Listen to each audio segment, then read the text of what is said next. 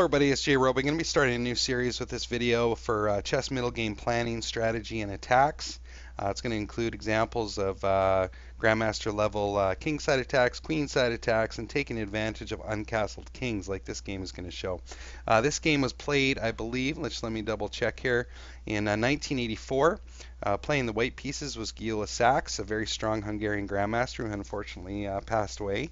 And uh, the black pieces was played by John Nunn. And um, we're going to take a look at this example on how Mr. Sax basically uh, capitalized on the fact that black's king is not castled. And he formulates a plan to exploit that.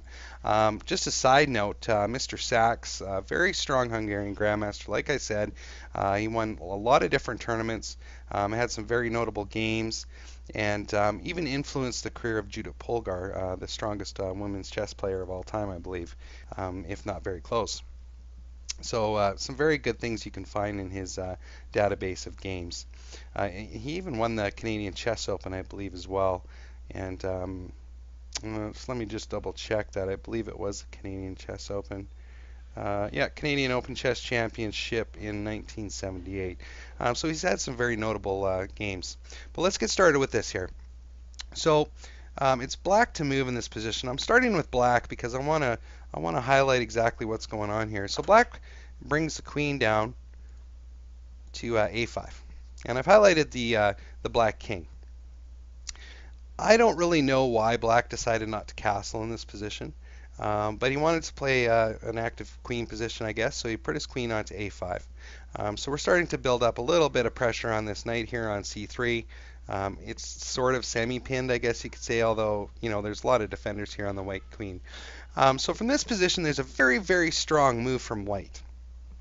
So go ahead and pause the position or pause video, take a look at the position and see if you can find a really strong move for white in this position.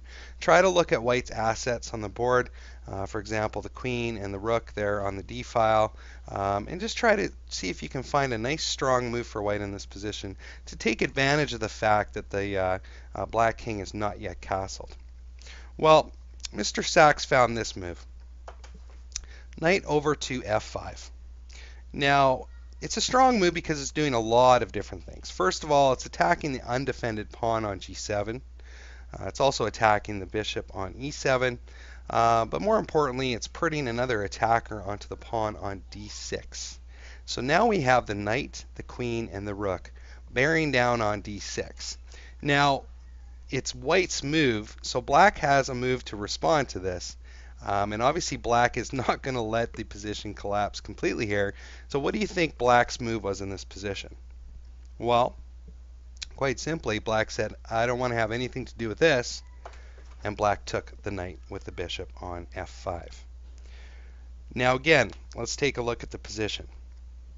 Obviously white's going to recapture here with the pawn on e4. But just think about this for a minute. What is this capture going to do for white? Well, Let's take a look. White recaptures with the pawn on f5. And what do we have now? We have an exposed file, an open file, leading all the way to the enemy king on e8. This is going to be troublesome for black. There's no pawns on the e file. Now granted, white's pieces aren't on the e file yet really in any kind of large capacity, uh, but it's definitely opened up. From here, black plays rook over to c8 once again electing not to castle in the position, instead bringing another attacker onto the knight on c3. So the pressure is building up here.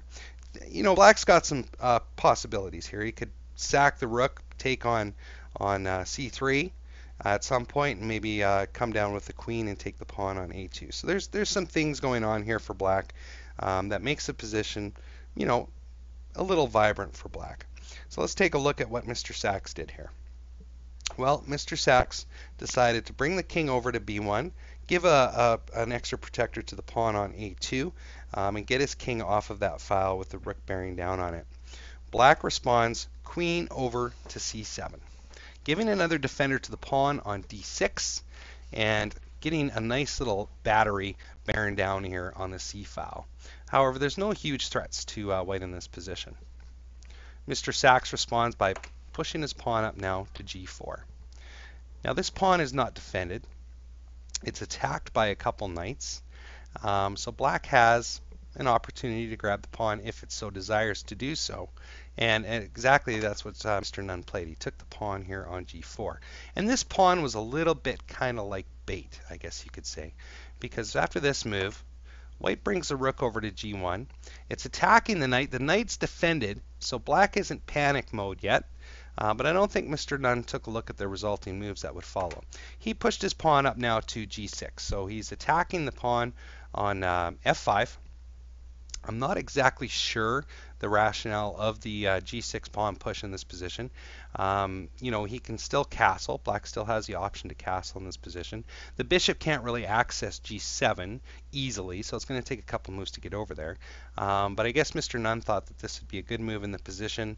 Um, if you guys can think of a good reason to uh, push that pawn up there, go ahead and post that. Um, I don't think I would push that in that position, but I am definitely not a grandmaster, so there could be something that I'm missing there. Um, but if we go back a move, uh, a move like uh, g5 could not be played, or sorry, e5 could not be played because it just hangs the pawn. Um, so, you know, in the position, black didn't feel any huge threats coming on with this rook. The knight was defended. He pushed the pawn up, and now watch what uh, Mr. Sax does. He comes in and he takes that rook with the, uh, or takes his knight with the rook. Black recaptures. White plays knight up now to d5, forking the queen and the bishop. Obviously the queen needs to be saved. Queen peels back to d8. And look at that. Just a nice little uh, slide move over here with the rook onto e1. And now all of a sudden we got some big problems in the back uh, black position. Uh, the bishop's pinned now onto e7. Uh, it's got two attackers. What's black going to do? Well, black tries to bring the knight back to e5. Only problem, we've, we've got that covered. White takes with the bishop launching an attack on the rook onto h8. Once the pawn recaptures, white comes in, snags that pawn up with the rook, and once again, we have that pin on the dark square bishop, we have the knight attacking the dark square bishop, and we have the queen defending the knight. This light square bishop here hasn't even contributed to this brutal attack yet, but it is brutal for sure. Black finally decides to castle. And in this position, obviously, white snags up that dark square bishop, hits the check, King goes over to h8. Now what does uh, white play in this position? White simply brings the light square bishop up now to d3. Um, the knight's still protected from the rook. This kind of severs the connection of the black queen to the white queen. And the white queen's got some ideas here. Obviously, it's got open access along this dark square diagonal. It's, it can do a lot of different things. It's got this whole rank to play with here on the second rank. Black responds queen now to d6, attacking that rook. The rook currently doesn't have a defender. White just drops the rook back, gives the bishop uh, defense of that rook. Uh, the knight still can't be taken. Uh, black doesn't have a lot of great options in this position, so it brings its rook over now to d8 to uh, you know create this little cannon coming down here onto the bishop on d3. But there's no real threats in this position. So from here, white plays queen to c3, hits the check on the enemy king. Uh, the enemy king uh, needs to be protected, so black pushes the pawn up to uh, f6, the pawn supported by the rook, at which point white captures the pawn now on g6. Black obviously can't recapture, it's just going to fork itself with the, uh, the king and the rook. So black takes the pawn on, on h2 with the queen, and white captures the pawn on h7, and black actually resigns in this position. It's just such a crushing position to be in that there wasn't, there's really no hope for black. Uh, for example, if the black king captures, we have this nice discovered check here with the bishop and the queen will drop. Uh, if we go back to this position, if black tries something like queen takes pawn, uh, we have a, similar thing. The rook comes over to h4. If the queen captures, we just have the uh, fork here with the king and the queen. So uh, that's definitely not good for black.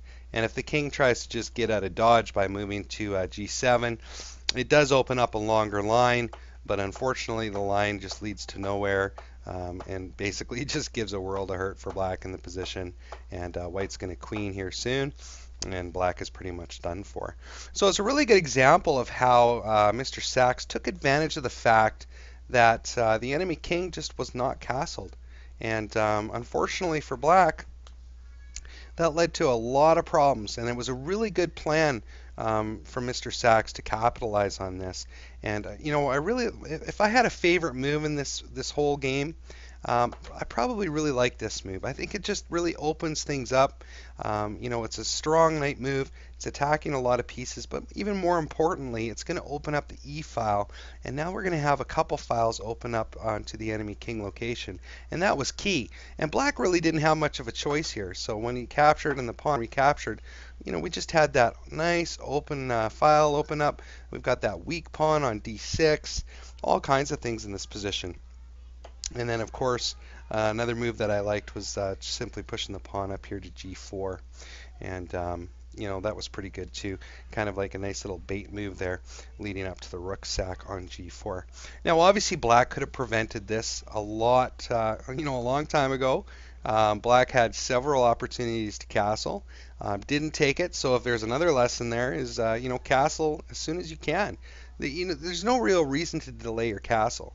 Um, unless you have something really solid lined up that you know is a forceful line and um, you don't have to, to uh, castle your king and get him to safety. Uh, but in, in all other positions, get, get your king castled. Get him out of the uh, firing line um, so that uh, something like uh, um, this doesn't happen to you. All right, guys. Hope you enjoy the video. I'm really going to like this series here. I want to work on my middle game planning and attacking lines um, a lot. I think that uh, you know, in my personal game, um, the, the, most improvement that I have is uh, is in the in this area. Like I mean, my end game's pretty good, my opening's pretty solid, and you know, my middle game's not horrible, but it needs work um, for me to break this plateau and get to the next level of chess. Uh, so I hope you liked the video. Take care, and we will see you next time.